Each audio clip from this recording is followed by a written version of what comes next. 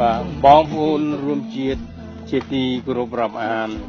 នេតិខ្មែរក្រោកឡើង បានទន្ទឹងរង់ចាំដល់ថ្ងៃនេះ ដើម្បីលើកយកបញ្ហាជាតិដ៏សំខាន់សំខាន់មកជម្រាបបងប្អូនរួមជាតិឲ្យបានយល់ច្បាស់ថាហេតុអ្វីបានជាឌីរិឆានហ៊ុនសែនមានទិដ្ឋិមានះហើយចេះតែរោគល្បិចសពបែបយ៉ាងនិងរោគលេះពីមួយទៅមួយទៀត ដើម្បីកំទេចគណៈបកសង្គ្រោះជាតិឲ្យរលាយបាត់រូបចេញពីប្រទេសកម្ពុជារឿងនេះខ្ញុំបានជម្រាបបងប្អូនច្រើនដងរួចមកហើយ គឺអត់មានរឿងអ្វីមួយ ដែលខាងគណៈបកសង្គ្រោះជាតិបានប្រព្រឹត្តកំហុសនៅចំពោះមុខច្បាប់រដ្ឋកម្ពុជា នៅត្រង់មាត្រាណាមួយនោះទាល់តែសោះបើបងប្អូនធ្លាប់ដឹងឮឬមួយបងប្អូនធ្លាប់ឆ្លងកាត់សម័យខ្មែរក្រហមប៉ុលពត រួមនឹងសម័យកម្ពុជានៅក្រោមអំណាចអាណានិគមនិយមយួនគ្រប់គ្រងតើបងប្អូនមានការធានា ពីច្បាប់របស់រដ្ឋអំណាចទាំងនោះដែរឬទេ ការពិតគ្មានតតែសោះអ្វីអ្វីសុទ្ធតែរដ្ឋអំណាចនៃរបបព្រីផ្សាយទាំងនោះសម្រេចមកលើជីវិតយើងទាំងអស់ដោយសម័យខ្មែរក្រហមប៉ុលពតវាថាអ្នកឯងជាស៊ី ឬជា KGB ត្រូវបញ្ជូនទៅរៀនសូត្រគឺមានន័យថាយកទៅសម្លាប់ដោយគ្មានតុលាការជំរះទោសឡើយហើយឥឡូវនេះ ក្នុងរបបដេរិឆានហ៊ុនសែនក៏យកវប្បធម៌ដដែលនេះមកប្រើលើគណៈបកសង្គ្រោះជាតិដោយវាចោទទៅលើលោកកុំសខាជាមេគណៈបកសង្គ្រោះជាតិថាជាជនក្បត់ជាតិរួចគេចាប់លោកយកទៅដាក់ពន្ធនាគារទាំងបំពេញច្បាប់ សពបែបយ៉ាងដោយគ្មានការអៀនខ្មាស់តលតែសោះបន្ទាប់មកពួកដេរិឆានទាំងនេះធ្វើច្បាប់បំពេញដើម្បីរំលាយគណៈបកសង្គ្រោះជាតិនិងបង្ខាំងមិនអោយមន្ត្រីធំធំចំនួន118នាក់នៃគណៈបកសង្គ្រោះជាតិមិនអាចចូលរួមក្នុងការធ្វើនយោបាយក្នុងរយៈ5ឆ្នាំ ការបង្ខាំងលើមន្ត្រី118រូបនិងការរំលាយគណៈបកសង្គ្រោះជាតិបែបនេះ គឺជាការរំលោភរបស់ដេរិឆានហ៊ុនសែននិងសហការីនៃគណៈបកប្រជាជនឬគណៈបកយួននេះ ដែលធ្វើឡើងទាំងបំពេញលើច្បាប់រដ្ឋធម្មនុញ្ញនៃប្រជាណាចក្រកម្ពុជាឆ្នាំ1993ជាក់ច្បាស់ណាស់គឺវាស្មើនឹងសម័យខ្មែរក្រហម3ឆ្នាំ8ខែ21ថ្ងៃនោះដែរព្រោះទង្វើដែលដេរិឆានហ៊ុនសែនធ្វើឡើងនេះ វាគ្រាន់តែជាការចង្អុលបង្ហាញថា គឺបញ្ជាក់ពីការភ័យខ្លាចរបស់រាជរដ្ឋាភិបាលហ៊ុនសែនដែលធ្វើឡើងដើម្បីរក្សាការពារនៅអំណាចរបស់បុគ្គលហ៊ុនសែននេះតែប៉ុណ្ណោះឯងមិនក៏លូបលន់អំណាចខ្លាំងម្លេះផោះតាងគឺសម្ដីឯងនិយាយថាចង់ធ្វើនាយករដ្ឋមន្ត្រីរហូតដល់អាយុ90ឆ្នាំជាដើម សម្ដីរបស់ដេរិឆានឯងប៉ុណ្ណេះបញ្ជាក់ឲ្យឃើញថាថ្មិលឯងជាមនុស្សលោភអំណាចខ្លាំងណាស់បានសេចក្តីថាឯងជាជើងកាងរកគ្រប់មធ្យោបាយធ្វើម៉េចឲ្យតែបានឈ្នះឆ្នោតនៅគ្រប់អាណត្តិតែប៉ុណ្ណឹងហើយក៏អាចបញ្ជាក់ថាបន្ទាប់ពីអាណត្តិទី1មកឯងប្រើគ្រប់វិធីលួចបន្លំក្នុងការបោះឆ្នោត គ្រប់អាណត្តិទាំងអស់ហើយបែរជាមកអួតប្រាប់គេឯងថាប្រជាពលរដ្ឋខ្មែរនៅតែស្រឡាញ់ឯងទើបឯងឈ្នះឆ្នោតរាល់លើកនោះថោកទៀតណាស់តែម្លើយល្មមដឹងខ្លួនផងកុំចាំរះឡើងមកអូសកទម្លាក់ចុះនោះដូច្នេះការបោកប្រាស់របស់ឯងល្មមដល់ទីបញ្ចប់ហើយឲ្យមានចិត្តជាកូនម៉ែខ្លះផង កុំឲ្យប្រជារាស្ត្រហៅឯងថាជាកូនឆ្កែវិញនោះសុំទោសតែខ្ញុំប្រើពាក្យអសរោះនេះតែខ្ញុំមិនដឹងរកពាក្យអ្វីឲ្យសមនឹងទង្វើរបស់បុគ្គលដ៏ចង្រៃឧបទ្រពនេះ ដែលធ្វើឲ្យធ្ងន់ដីនៃមេដាកម្ពុជាយើងយ៉ាងនេះ ហើយសូមផ្ដាំមកដេរិឆានហ៊ុនសែនឯងផងដែរថាទឹកដីកម្ពុជាមិនមែនជាទឹកដីផ្ដាច់មុខរបស់ត្រកូលហ៊ុននោះទេ កម្ពុជា ជាទឹកដីរបស់ខ្មែរគ្រប់រូបអ្នកណាមានតកូលអ្វីក៏ដោយឲ្យតែពួកគេមានគុណសម្បត្តិល្អចេះគិតប្រយោជន៍ជាតិជាធំ មានចំណេះដឹងខ្ពស់មានសមត្ថភាពគ្រប់គ្រាន់ក្នុងការដឹកនាំប្រទេស ពិសេសមិនមែនជាជនក្បត់ជាតិដោយដេរីឆានហ៊ុនសែនគឺយើងអាចទទួលយកបានដោយពេញចិត្តមានបញ្ហាមួយទៀត ដែលយើងជាប្រជាពលរដ្ឋអាមេរិកកាំងដើមកំណើតខ្មែរយើងគួរដាក់ទោសដល់គណៈបកប្រជាជនឬគណៈបកយួនដែលមានគំនិតតាមព្យាបាទដល់គណៈបកសង្គ្រោះជាតិឲ្យរលំរលាយបែកខ្ញែកប៉ុណ្ណឹងហើយតែគេនៅមិនស្កប់ចិត្តទៀតគឺគេឲ្យពួកអាមីអាថោងគឺថ្មិលសុកេសាននិងថ្មិលផៃស៊ីផាន បានតាមវិប្រហាយ៉ាងថោកទាបដល់ប្រជាប្រដ្ឋខ្មែរនៅសហរដ្ឋអាមេរិកដែលនាំគ្នាជាង1000នាក់ទៅធ្វើមហាបាតកម្មពីថ្ងៃ10ធ្នូនៅមុខសេតវិមាននៃប្រធានាធិបតីសហរដ្ឋអាមេរិកពួកគេបានចោទដល់ក្រុមបាតកោនៅក្រៅប្រទេស ដែលប្រឆាំងនឹងរដ្ឋបាលកម្ពុជា ថាជាការរំលោភលទ្ធិប្រជាធិបតេយ្យនិងកិច្ចព្រមព្រៀងសន្តិភាពទីក្រុងប៉ារីសដូច្នេះ សូមបងប្អូនពិចារណា ទៅលើសម្ដីពួកថ្មិលនេះមើលចុះតើជាកំហុសមែនឬយ៉ាងណា នេះយើងអាចហៅពួកដេរិឆានទៅនេះជាពួកបំពេញលើច្បាប់អន្តរជាតិថែមទៀតទោះបីយើងធ្វើបាតកម្មនៅក្នុងប្រទេសខ្មែរក៏ដោយក៏មិនហៅថាខុសច្បាប់ដែរព្រោះនៅក្នុងច្បាប់រដ្ឋធម្មនុញ្ញមាត្រា37បានចែងថា សិទ្ធិធ្វើកោតកម្មនិងធ្វើបាតុកម្មដោយសន្តិវិធីត្រូវយកមកអនុវត្តនៅក្នុងក្របខ័ណ្ឌនៃច្បាប់ហើយនៅប្រទេសកម្ពុជានោះវិញដេរិឆានហ៊ុនសែនបានអួតក្អេងក្អាងថាទៅមានការងារមួយដែលត្រូវធ្វើបន្តទៀតលោក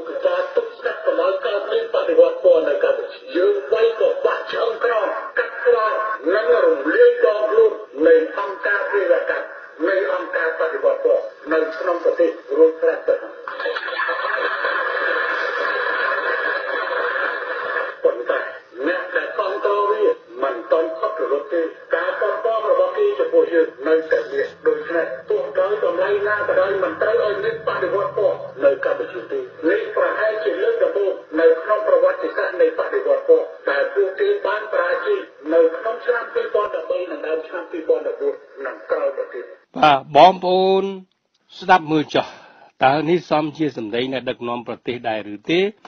ជាសម្ដីព្រីផ្សៃដែលកើតចេញពីសេចក្តីចរណែននិងសេចក្តីភ័យខ្លាចក្នុងការបាត់បង់អំណាចតែប៉ុណ្ណោះដេរីឆានបានប្រើវិធីដ៏សែនអន់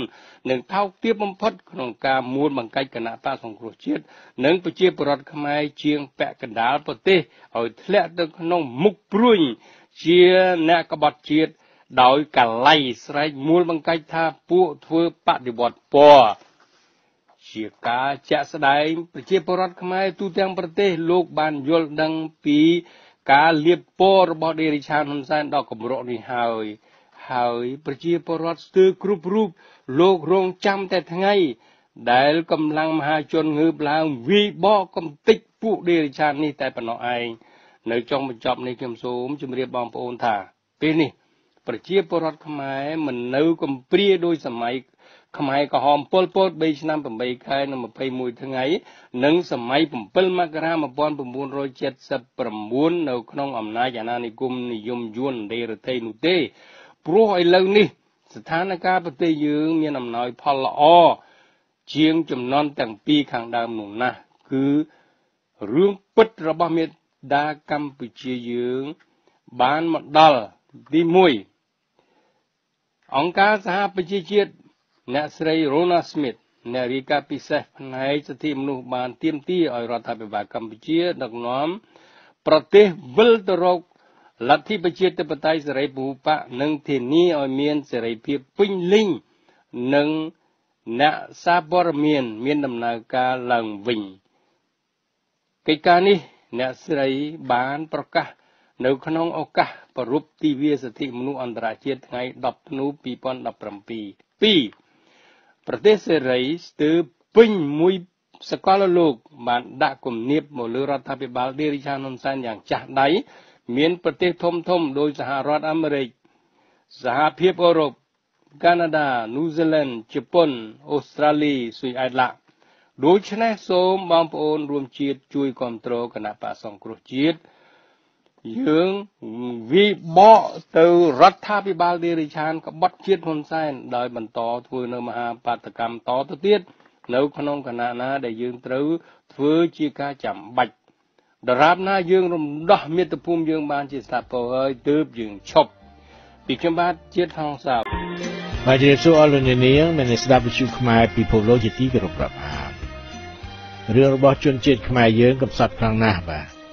ខ្មែរធ្លាប់ជាជនជាតិអ្នកចម្បាំងផងនិងជាអ្នកកសាងដ៏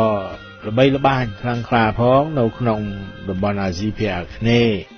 តាំងតែពីសម័យដែលគ្មានអ្នកណាគេស្គាល់ថាអាស៊ីភាគអាគ្នេយ៍នោះគឺអ្វីនោះផងបានសេចក្តីថាខ្មែរយើងធ្លាប់រុងរឿងខ្លាំងលើទឹកដីសវណ្ណភូមិក៏ប៉ុន្តែចាប់ពីសតវត្សទី 14នៃគ្រិស្តសករាជនោះមកអាណាចក្រខ្មែរចាប់ផ្ដើមរង្គោះរង្គើហើយអង្គរក៏ដល់នៅថ្ងៃអវសាន នៅប្រមាណឆ្នាំ1431ពេលដែលព្រះបាទពញាយ៉ាតសម្រាប់ប្រតិបដូររាជធានីទៅតាំងនៅឯភូមិភាគខាងកើតគឺរើទៅនៅម្ដុំភ្នំពេញបាទ សប្តាហ៍នេះខ្មែរចិត្តរលត់រលាយទៀតទៅហើយខណៈដែលពួកអាកញ្ចេះយួននៅភ្នំពេញវាកំពុងតែត្រេកត្រអាលនឹងខួប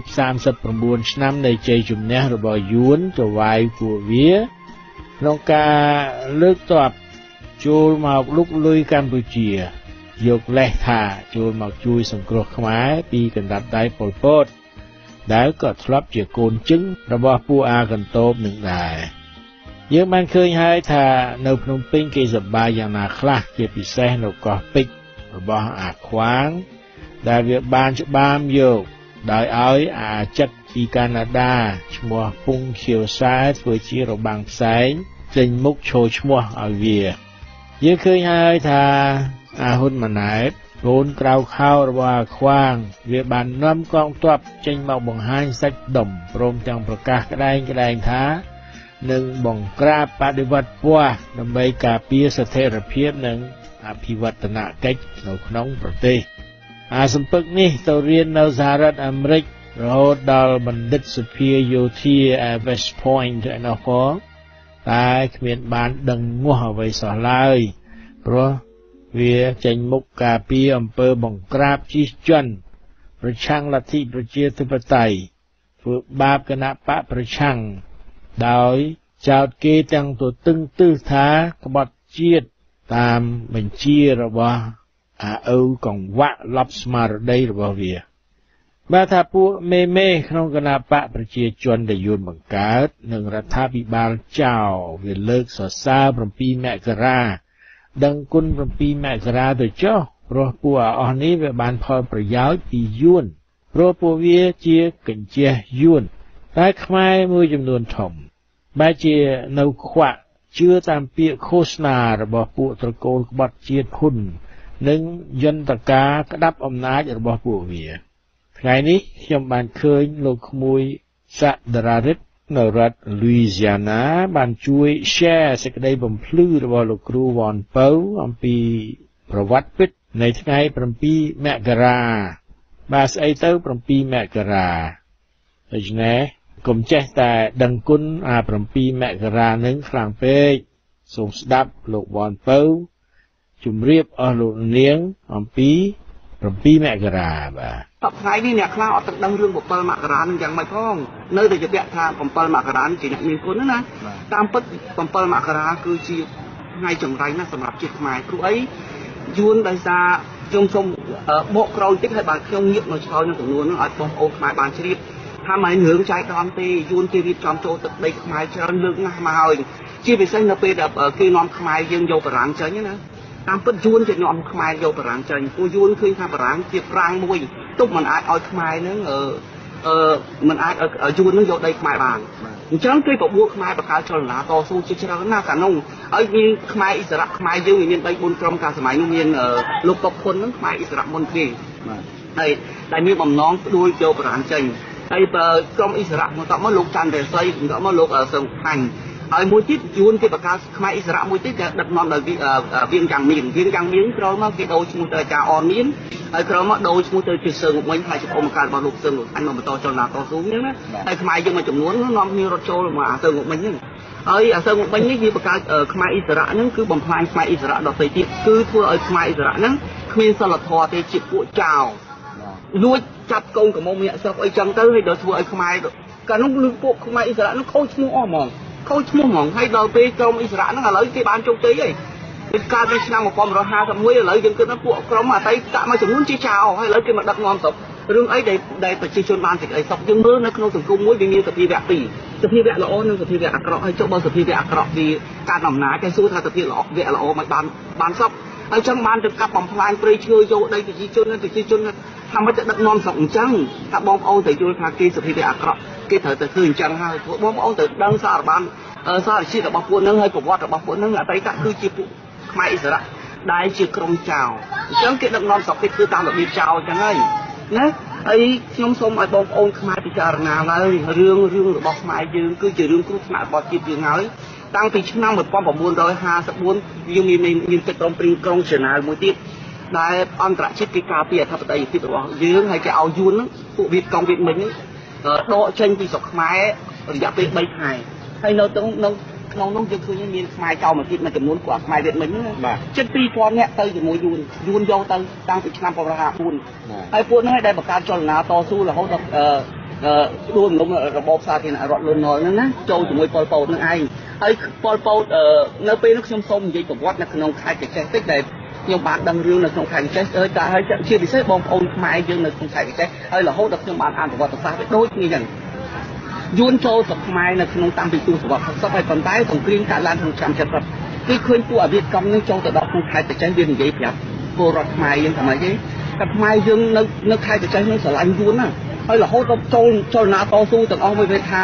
វាមកនឹងជួយខ្មែរដួលរំលំពួកអាមេរិកកាំងឲ្យចេញពីខ្មែរហើយវាទៅយកដីខ្មែរនៅកម្ពុជាក្រមនឹងឲ្យមកខ្មែរទៀតពួកយើងនៅជើងហ្នឹងហើយខ្មែរយើងលឺអញ្ចឹងចាញ់បោកវាហើយវាធ្វើល្អណាស់វាធ្វើល្អណាស់ហើយដល់ពេលអញ្ចឹងស្រឡាញ់ស្រឡាញ់វាអ្នកខ្លះរត់ចោលស្រុករត់អីទៅទៅចលនាតស៊ូជាមួយ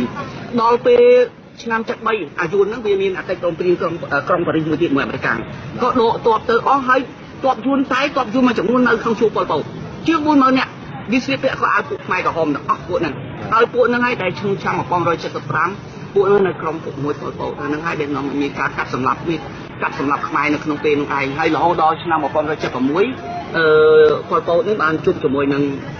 យួនបានហៅទៅថាមិនដងណានាយករដ្ឋមន្ត្រីយួនហៅប៉ុលពតទៅហើយនឹងឡាវទៅហៅទៅគឺឲ្យខ្មែរយើងរំលាយគ្រងដែនទៅកាន់សហព័ន្ធរូចិនហើយឡាវព្រមហើយប៉ុលពតអត់ព្រមអានឹងហើយដែលធ្វើឲ្យមានកំណត់គ្រងដែនយួនរករឿងប៉ុលពតរហូតទីបំផុតគេរួមលំប៉ុលពតដោយសារប៉ុលពតចាប់ដើមស្រាវជ្រាវសង្ស័យយួនដែលខ្មែរវៀតមិញទៅរៀននៅស្រុកយួនហ្នឹងណាយកទៅសម្រាប់ចោលអញ្ចឹងហើយ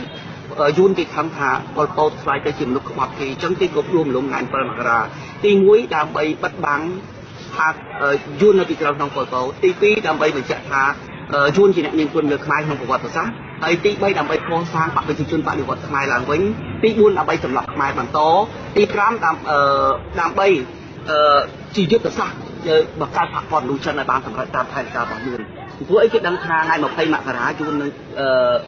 អន្តរជាតិគេវាយខ្មែរ អញ្ចឹងយួនជាតិឱកាសវាយវាយខ្មែរមុនហើយវាយខ្មែរមុននឹងមិនមែនបំណងយកពួកក្រុមហ៊ុនតែងដំបងទេគឺយកសម្ដេចសេនុប៉ុន្តែចាប់សម្ដេចសេនុថ្ងៃ2មករាបានដោយសារប៉ុលពតដឹងរឿងមុនបានរំដោះសម្ដេចសេនុទៅលាក់ទីសផននឹងជាមួយជាតិឈុនជាមួយអីហ្នឹងទៅលាក់ទុកនឹងហើយនឹងចិនទូចិនសង្ហាវហ្នឹងដល់ថ្ងៃ2មករាហ្នឹងពួកប៉ុលពតដួលរំលំវាយកំទេចពួកអាដាក់កងយួនអស់ទៅហើយបានគេគឺទៅធ្វើសន្និសីទកសែតប្រទេសនៅទល់ដែនហើយនេះជាមួយអ្នកកសែតម្នាក់ជនជាតិឥណ្ឌាខ្មែរបាទស៊ីតោងតោះឈ្មោះថាណាយ៉ាន់ចនា ណាចឹងគោលបំណងចាប់សម្ដេចសេនុដឹកនាំចឹងបើសិនជាយួនវាចាប់សម្ដេចសេនុបានណាមកដល់សប្តាហ៍ខ្មែរគ្មានការបោះឆ្នោតទេដូចឡើយចឹងយួនជាតិសង្កត់ខ្មែរអញ្ចឹងគេយកសម្ដេចសេនុដឹកនាំដោយសារសម្ដេចសេនុមានទំនុនទៅលើឆាកអន្តរជាតិកន្លែងហ្នឹងដើម្បីឲ្យទទួលស្គាល់នៃរបបដែលដែលយួនលើកបន្ទប់នឹងឯងអញ្ចឹងខ្ញុំងាកមកពីកិច្ចព្រមព្រៀងក្រុងប៉ារីសទៅឲ្យខ្មែរមាន គណៈបកជាច្រើនគេហៅថាសេរីពហុបកណាប៉ុន្តែមកដល់ពេលនេះយើងឃើញថាប្រជាជនខ្មែរយើងនៅក្នុងឆ្នាំទីយើងសង្ឃឹមទៅលើគណៈបកសង្គ្រោះព្រោះអីយើងឃើញចលនារបស់ខ្មែរទាំងអស់រូបរងគ្នាបោះឆ្នោតឲ្យគណៈបកសង្គ្រោះឲ្យចំគឹងថាគណៈបកសង្គ្រោះនឹងនឹងអាចជួយក៏ការពារបូរណភាពទឹកដីរបស់យើងជាតិយើងបានប៉ុន្តែមានកណ្ដាលមានមានក្រុមមួយចំនួនទៀតថាគណៈបកសង្គ្រោះនឹងមិនអាចបានទេឥឡូវនេះគេត្រៀមមកបង្កើតគណៈបកថ្មីហើយគណៈបកថ្មី យើងប្រាប់ថាដើម្បីបង្កើតជោគជ័យទី1អ្នកឯងត្រូវមានបេះដូងជាតិអត់មកជួយស្រោចស្រង់ជាតិអត់បើអ្នកមានគ្រាន់តែបេះដូងដើម្បីសំអប់ដើម្បីចាញ់ចាងដើម្បីព្រួមលំគូភាគីមួយទៀតគឺដូចជាជួយឲ្យយួនជោគជ័យយ៉ាងព្រោះយើងឃើញសង្គ្រាមនៅឥណ្ឌូចិនអ្នកដែលអ្នកដែលចាញ់យ៉ាងណាគេអាមេរិកក៏ចាញ់ចិនក៏ចាញ់ខ្មែរក៏ចាញ់ឡាវក៏ចាញ់ប៉ុន្តែអ្នកដែលឈ្នះគឺយួនអត់ជនយើងយួនគេនិយាយភាសាគេថាម៉េចគេថាជនជាតិយួនជាជនជាតិមួយ slow boat សុភាពវិសាតស៊ូស្វិតស្វាញតែអំអើអស់ហើយអំណត់បើជាប់ដីលើប្រទេសណាហើយគឺមិនចេញជាដាច់ខាតស្ដាប់ឲ្យបាននៅភាសាអស់នេះអញ្ចឹងមានតែខ្មែរទាំងអស់ដើម្បីបើសិនជាគណៈបកសង្គ្រោះនេះដើម្បីមកសង្គ្រោះជាតិដើម្បីប្រយោជន៍ជាតិមែនទៅស្ដាប់មតិរបស់ប្រជារដ្ឋស្ដាប់អ្នករិះគន់រដ្ឋាភិបាលដើម្បីចង់ឲ្យគណៈបកនេះបានជោគជ័យព្រោះយើងអត់ចង់មានការបែកបាក់ទៅក្រុមថ្មីថ្មីទៀត កាលណាខ្ញុំបាននិយាយថាដល់បែកកាន់តែច្រើនគឺគណៈបកប្រជាជនជាអ្នកជោគជ័យហើយមិនមែនគណៈបកប្រជាជននេះគឺយួនទេដែលជាអ្នកគ្រប់គ្រងជំនួសខ្មែរជំនួសគណៈបកប្រជាជនទៅថ្ងៃក្រោយព្រោះអីគេប្រើគណៈបកប្រជាជនគ្រាន់តែជាស្ពានគ្រាន់តែជាឈ្នន់ដើម្បីចម្លងនៃផែនការមហិច្ឆតារបស់គេតែប៉ុណ្ណោះសប្តាហ៍នេះផែនការរបស់យួនគឺផែនការយួនគេលេបខ្មែរដល់តោហើយមានន័យថាហេតុអីបានខ្ញុំថាលេបខ្មែរដល់កឥឡូវយើងឃើញនៅតាមបឹងទលេសាបគ្រាន់តែយួនមិនមែនតិចម៉ឺនគ្រួសារទេខ្ញុំជុំវិញបឹងទលេសាបហ្នឹង ទី2នៅក្នុងក្រសួងមហាផ្ទៃរហូតដល់កូនយួនខ្លះទៅជាឧត្តមសេនីយ៍ហើយហើយនឹងក្រសួងការពារជាតិជាឧត្តមសេនីយ៍ហើយទី3យើងមើលសេដ្ឋកិច្ចស្រុកខ្មែរសប្តាហ៍គឺយួនជាអ្នកគ្រប់គ្រងតាមរយៈសុខគង្គហើយនឹងដីសម្បត្តិជាច្រើនទៀតយើងឃើញដីសម្បត្តិហ្នឹងគឺមានដល់99ឆ្នាំហើយក្នុងមហិការហ្នឹងដាក់2នាក់ជនជាតិយួនអញ្ចឹងយើងគិតសម័យមើលឃើញកម្ពុជាក្រមគេយកទៅបារាំងប្រកួតឲ្យថ្ងៃទី4មិថុនាឆ្នាំ1949 ហើយយើងតែ60ឆ្នាំឆ្នាំជាងយើងមើលទៅដូចដៃសំហាយចុះតម្រង99ឆ្នាំយើងសម័យមើលឃើញថាដីនេះគឺជាបង្កប់បាបទៅជនជាតិយួនដោយដោយដោយឯឯទាំងងហើយអឺជាពិសេសកូនចៅយើងចំនួនក្រោយគឺចាត់ទុកថាដីនោះជាភូមិរបស់យួនហើយវាអត់ដឹងរឿងអីទាំងអស់ហើយជាពិសេសទៀតក្រសួងអប់រំសប្តាហ៍យើងឃើញហើយ គេអាចបានបញ្ចូលប្រវត្តិសាស្ត្រដែរអ្វីដែលជាការពិតដើម្បីលៀងដើម្បីឲ្យខ្មែរយើងមានន័យថាមានបទពិសោធន៍នៅក្នុងប្រវត្តិសាស្ត្រហើយប្រុងប្រយ័ត្ននៅក្នុងការពារទឹកដីរបស់ខ្លួនទេអញ្ចឹងមានន័យថាគេរួមចំណែកលៀងពួកក្បាលខ្មែរឲ្យភ្លេចរឿងទាំងអស់ហើយពង្រួមតាមរយៈបបធម៌ពីនីនឹងតាមរយៈយុទ្ធសាស្ត្ររបស់យួនដើម្បីលៀបដីខ្មែរទី1គ្រប់គ្រងសេដ្ឋកិច្ចទី2លៀងខួបក្បាលខ្មែរតាមរយៈបំផ្លាញវប្បធម៌ហើយទី3ត្រូវទិញដីឲ្យជនជាតិយួនរស់នៅ អញ្ចឹងយើងឃើញសប្តាហ៍នេះគឺផ្ទះថ្មផ្ទះល្វែងជាច្រើននេះទៅរដ្ឋាភិបាលបាននិយាយថាតាមធនាគារយួនគេឲ្យជនជាតិយួនរស់នៅលើទឹកដីខ្មែរហ្នឹងអឺមានសិទ្ធិខ្ចីប្រាក់ដល់ហើយអត់បងអត់មានការប្រាក់ទៀតហើយឲ្យបើកហាងហើយបើខាតហើយគេជួយចេញទៀតបើបើជាខាតគឺខាតពាក់កណ្ដាលនេះគេយួននៅស្រុកខ្មែរនេះគេយួននៅស្រុកខ្មែរហ្នឹងគឺសម្រាប់បណ្ដាយួនបណ្ដាយួនដែលរស់នៅលើហើយហើយយួនថៃក្រុមតាមយន្តនាគមរបស់គេហ្នឹងអញ្ចឹងយើងឃើញហើយនេះជាគ្រោះថ្នាក់របស់ជាតិហើយជាតិទៅសាសមួយទៀតគេធ្វើនៅកម្ពុជាក្រមដែរគេហៅថា វាទឹកបង្អើត្រីមានន័យថាម៉េចទៅគឺធ្វើឲ្យខ្មែរនៅក្នុងស្រុកមិនអាចរស់នៅក្នុងទឹកដីរបស់ខ្លួនឯងអរលោកនាងមានស្ដាប់ជាទីគោរពរាប់អានបងប្អូនខ្មែរដែលរស់នៅក្នុងប្រទេសមិនថាជាអ្នកណាទេគឺមិនថាអ្នកមានអំណាច អ្នកខ្សត់អំណាចទន់ខ្សោយឬមិនថា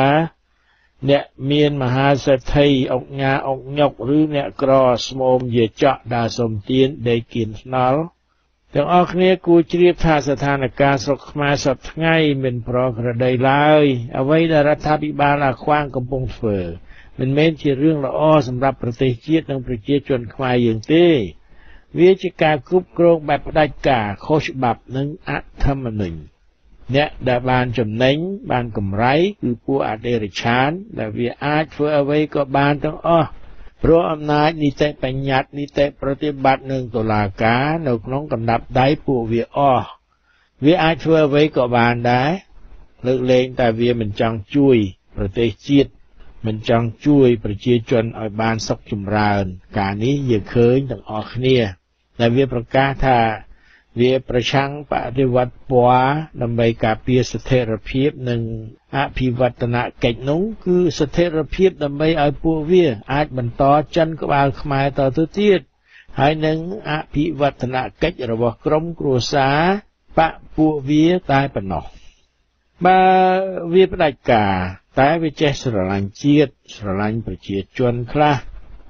វាចេះការពារកម្ពុជាមិនឲ្យយួនឲ្យសៀមឈ្លានពានច្បាមយកទឹកដីបើវាចេះជួយប្រជាប្រដ្ឋខ្មែរឲ្យមានការងារធ្វើមិនបាច់នាំគ្នា ទាំងលៀនទាំងលៀនអ្នករត់ទៅរកការងាររត់ទៅធ្វើខ្ញុំបំរើគេនៅប្រទេសដទៃបើវាអីចឹងយើងក៏អាចអត់ទ្រាំមិនជេរវាបានខ្លះដែរអាចនឹងសរសើរវាទៀតផង ហើយអត់រវីរវល់នឹងរឿង ក្នុងប្រទេសព្រោះយើងជឿថាស្រុកទេយើងនឹងបន្តមានតទៅទៀតមិនរត់រលាយត្រូវយួនវាលេបដោយសពថ្ងៃនេះក៏ប៉ុន្តែអានេះវាពុករលួយអញនិយមគិតតែពីផលប្រយោជន៍ផ្ទាល់ខ្លួន ផលប្រយោជន៍គ្រួសាររបស់វានិងបពពួកវាតែប៉ុណ្ណោះវាមើលងាយមនុស្សខ្មែរវាគិតថាខ្មែរស៊ីកន្ទក់ដូចជ្រូកឬអី វាថាខ្មែរល្ងងហើយកំសាកទៅវាធ្វើអ្វីៗបានស្រេចតែនឹងចិត្តចាំបាច់ខ្មែរក្នុងស្រុកក្រោកឡើងទៀមទាយកប្រទេសកម្ពុជាមកវិញពួកអ្នកនយោបាយមេបោកប្រាស់លោកអ្នកលមមឈប់ធ្វើរឹកថោកបែបនឹងតទៅទៀតទៅគ្រោះថ្នាក់ខ្មែរមានពិតប្រកបណាស់ឥឡូវអាខ្វាងវាថាវានឹងផ្ដាល់សញ្ជាតិខ្មែរឲ្យដល់ពួកអន្តោប្រវេសយួនខុសច្បាប់ទៀតផង រឿងនេះច្បាស់ជាคล้ายទៅជារឿងធំហើយព្រោះយួនខុសច្បាប់នៅស្រុកខ្មែរនឹងវាច្រើនលើសលប់ហួសនឹងរាប់ទៅហើយម្នាក់ម្នាក់សុទ្ធតែអាងថាវាកើតនៅស្រុកខ្មែរវាមកស្រុកខ្មែរយូរហើយមកប្រមាណចំណិនហើយនិយាយខ្មែរមិនទាំងចេះនិយាយផងអ្នកខ្លះនោះហើយវាចេះតែថាទៅបាទហើយបើសិនជាអាខ្វាងវាផ្ដល់សញ្ជាតិខ្មែរឲ្យពួកអស់នឹងមែនខ្ញុំគិតថា មិនយូរទេស្រុកខ្មែរយើងក៏នឹងคล้ายទៅជាកម្ពុជាក្រោមពិតប្រាកដ